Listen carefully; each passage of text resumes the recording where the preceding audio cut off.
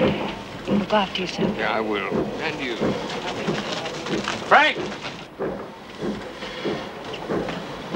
I was hoping I'd bump into you. We've booked a compartment. It's just the three of us, so why don't you join us?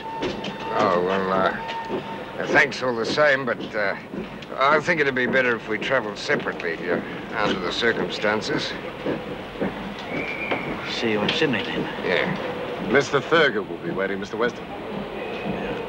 Come on, it's just down this way, I think. All aboard, please.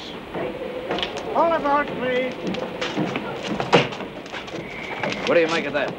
Or maybe he's just being cautious. I wonder. Uh, here we are.